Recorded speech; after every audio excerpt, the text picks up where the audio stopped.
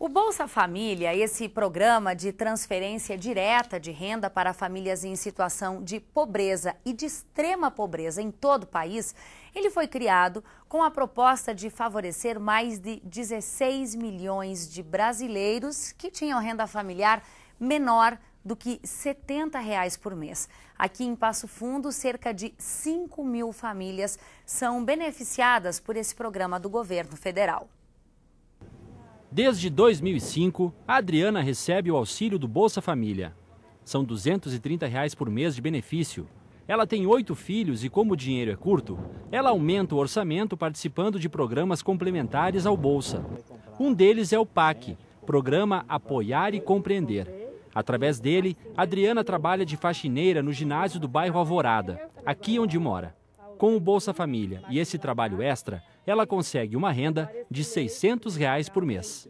Agora eu tenho meu cantinho, minhas crianças podem brincar e o terreno é grande, espacioso, tudo. Antigamente a gente não tinha pátio, não tinha nada, né? Antes do programa, Adriana morava em uma casa de 4 metros quadrados. Hoje vive nessa, adquirida pelo plano de habitação do município. Com o auxílio do Bolsa, ela mobiliou a casa. Comprou fogão, tanquinho, uma centrífuga, paga a luz, água, gás e ainda tem TV por assinatura. Um luxo impossível há um tempo atrás. É, mudou bastante, graças a Deus. Pelo trabalho, né, do que eu tenho e pela Bolsa Família, que vem para as crianças, né, eu manter a criança nas escolas, manter as coisas tudo em dia, as vacinações que eles pedem para as crianças eu faço. A Luciana vive outra realidade. Mora nessa casa em uma área considerada de risco recebe do Bolsa Família 198 reais. Dinheiro que ajuda para o gás, alimentação, roupa, luz.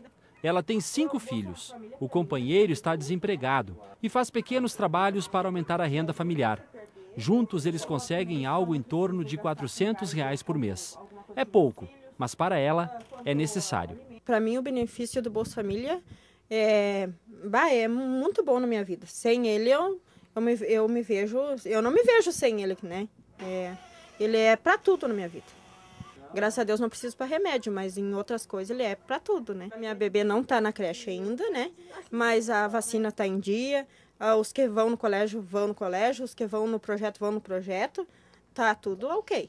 Para participar do programa, receber o benefício e poder entrar em outros projetos sociais do Bolsa Família, o titular do cadastro necessita ter os filhos matriculados e frequentando a escola. As vacinas precisam estar em dia. Os adolescentes inscritos em programas de qualificação profissional.